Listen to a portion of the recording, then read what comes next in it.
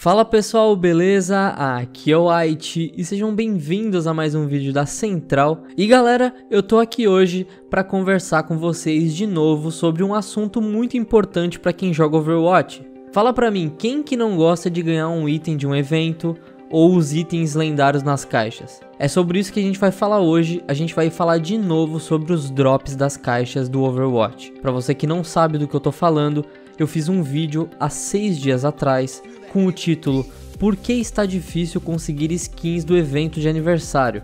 Nesse vídeo eu explico a minha opinião sobre o que eu tô achando dos drops. Na minha opinião, antes do evento da insurreição, era muito mais fácil de você conseguir itens. E depois que chegou no evento da insurreição, ficou um pouco mais complicado. Antes eu conseguia apenas jogar e conseguir as caixas, eu nunca comprei caixa, e eu conseguia praticamente completar todas as skins do evento.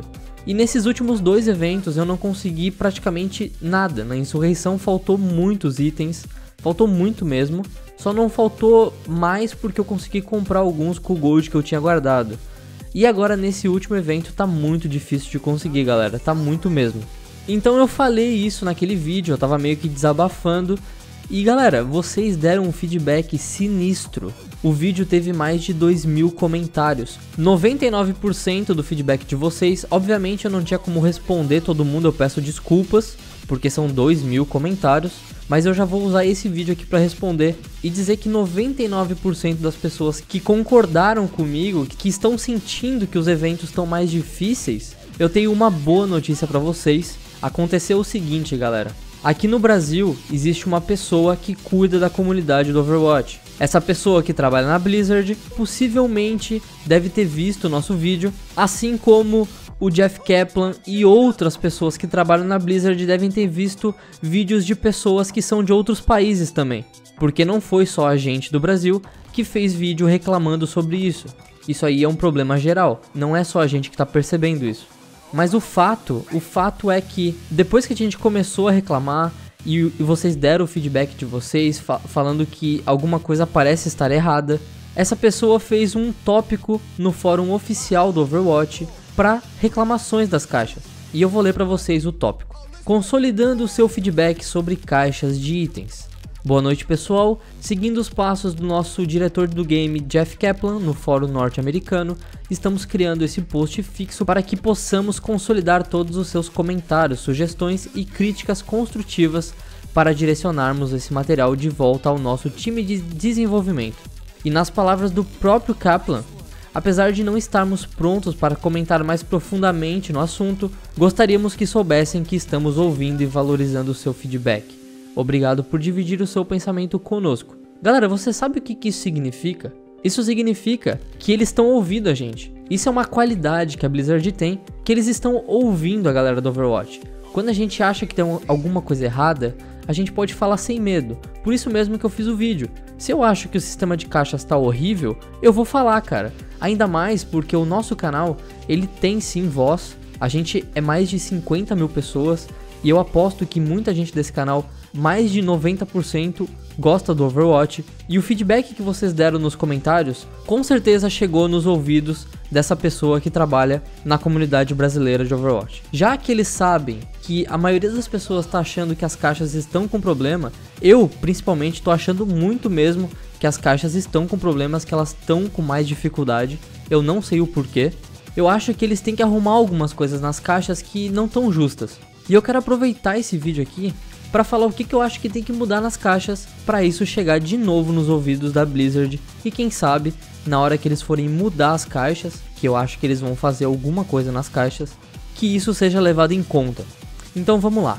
A primeira coisa que eu acho que deveria mudar nas caixas é que se uma caixa é do evento, só pode vir itens do evento. Não importa se vai vir 4 sprays, não importa se vai vir 4 falas.